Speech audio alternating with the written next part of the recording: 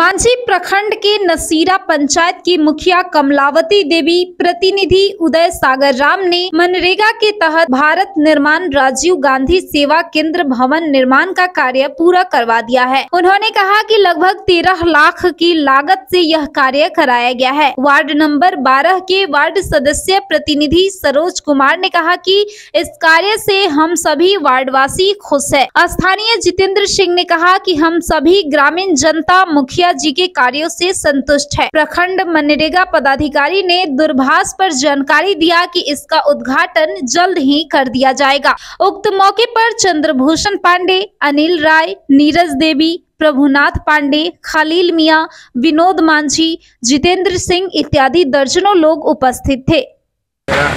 ग्राम पंचायत राज नसीरा कमलावती देवी, पत्नी मुखिया है। हम लोग ये मनरेगा के तहत मनरेगा भवन बनाए रहे हैं। लगभग बन चुका है। इसमें दो चार दिन का काम है। वो भी लगभग कंप्लीट हो चुका है। और मनरेगा की ये योजना 2015 की है। 15 में यहाँ के एनओसी लिया गया था। लेकिन कुछ विवाद के कारण नहीं बन पाया। जिसके कारण हम आए तो फिर इसको बनवाए। सर, आप तो ग्राम जनता है यहाँ के। ये जो मनरेगा का काम कराए हैं मुखिया जी इससे आप लोग कितना संतुष्ट हैं? हम लोग बहुत संतुष्ट हैं बहुत बढ़िया काम हुआ है। और पूरे प्रखंड में हमको जहाँ तक हम भी घूमते हैं हमें लगता है कि पूरे प्रखंड में ऐसा कहीं काम नहीं हुआ है। क्या नाम होगा जितेंद्र सिंह। ये मनरेगा का काम जो मुखिया जी कराए हैं इससे आप लोग कितना संतुष्ट है? बहुत संतुष्ट है बहुत काम कराए हैं।